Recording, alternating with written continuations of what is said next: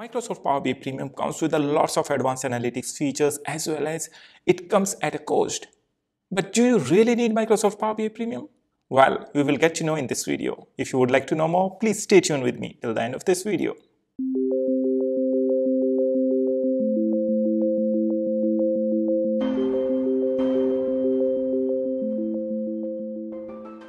My name is Ajay Kumar and in this video, we will try to figure it out that do you really need Microsoft Power BI Premium or you can also work without it. Well, in order to figure it out, we have to talk about certain points. And in this video, I'm going to tell you top 5 reasons that you should say goodbye to Microsoft Power BI Premium. So let's see what are those. So here on your screen now, you can see the top 5 points that I have listed out. So let's talk about them one by one. The very first comes the cost. Microsoft Power BI Premium comes with a hefty cost. That means whenever you have to use Microsoft Power BI Premium license, you have to pay based on the nodes. That means P1, P2, P3, P4 and P5 or also there are different SKUs like A1, A2, A3, A4 and A5. So if you're going to come over here on Microsoft website, I'm going to provide you link in the description section so you can have a look about the cost of different licenses provided by Microsoft. In my previous videos, I have already discussed how you can choose the perfect license for you. As I just mentioned, Microsoft Power BI Premium comes with a hefty cost. That means even you have to use the minimum capacity of Power BI Premium, that is P1, you have to pay around 5000 USD per month. It is a capacity based license and it is a dedicated capacity for your organization. But do you really need it? Or you can also work without it. So let's see what are other factors that you should consider before choosing Microsoft Power BI Premium. So over here, point number two is the feature. So what kind of feature you are looking over here? Whether you want to use some of the advanced analytics feature or you want to use the Power BI data marts and you want to do some of the machine learning stuff, etc., then you can go for the premium. But do you really need it? Or you simply don't want to use them? So decision is yours. So you have to choose wisely. And where you can find the different features of Microsoft Power BI Premium. Well, if you're going to come on this website once again, here you would get the list of all the feature comparison between Pro, Premium and Premium per user. So here you can check out all the list and you can decide whether you really want to use the Premium license or not. Now let's move to the point number three. Well, point number three is the storage space. So how much storage space do you want on Microsoft Power BI service?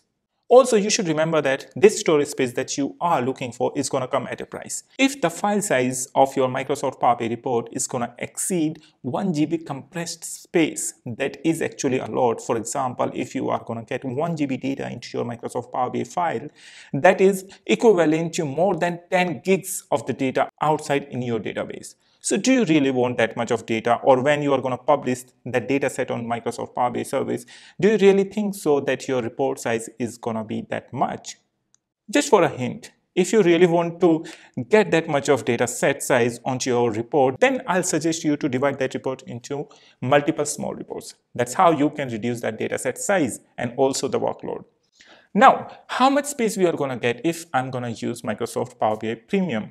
Well, in that case, you are going to get 100 TB of storage space on Microsoft Power BI service. Over here, once again, you can come down and here you can see that your maximum storage space on Microsoft Power BI service is gonna be 100 TB. However, there should be another caveat over here that if you have to check your model size limit, then with the help of premium per user, you can get up to 100 gigs of data model in Microsoft Power BI Premium service. And with the help of Power BI Premium, you can get up to 400 gigs of model size in Microsoft Power BI service. But please remember that this model size is the compressed data size. That means it is being compressed 9 to 10 times. So you can multiply it by 9 to 10 times in real world. So that's how your data is get compressed when you are going to upload or publish your data model into Microsoft Power BI service. Now coming to the point number four, over here, we are going to talk about data refresh. You have to keep in mind how many times a day your data is getting refreshed at source. With Microsoft Power BI Pro, it comes 8 times a day and which is quite significant. With the help of Premium per user and Premium, you can refresh your data set up to 48 times a day. That means every half an hour you can refresh your data set. But do you really need that? So you have to ask this question to yourself. Now coming to the last point, over here we are going to talk about the number of users. So in my previous videos, I have already discussed that when you can choose what kind of license, that means I have explained with the different scenarios based on the number of users that you should go for what kind of Power BI license. Generally, if your number of users are going to exceeding more than 500, then you should think about the Microsoft Premium license. Otherwise, you shouldn't even think about it. Well, then how to decide whether I should go for Microsoft Power BI Premium license or not? Well, in that case, I have something for you. I have designed one Microsoft Power BI Premium decision tree. With the help of this, you can decide whether in your organization you really need Microsoft Power BI Premium or not. And, but before going over there, you should remember that premium per user and premium license comes with the similar features except some features that I'm just going to show you. So if you would like to know that, you have to come on this portal and just scroll it down. And over here, you can see that only these three features are extra with Microsoft Power BI Premium license as compared to PPU, that is Premium Per User license. And also, you should know that premium per user is just to cost you 20 USD per user per month. However, Microsoft Premium license is to cost you approximately 5000 USD per month.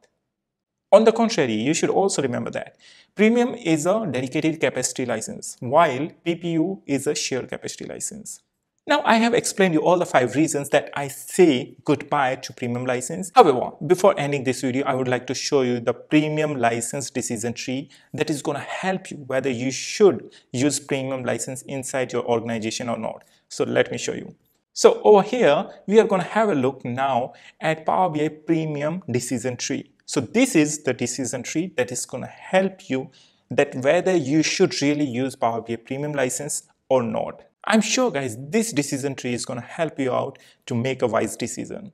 If you would like to stay up to date with all the features of Microsoft Power BI and Microsoft Azure, please don't forget to subscribe our channel and don't forget to hit the bell icon for all the latest Microsoft and Azure videos and updates.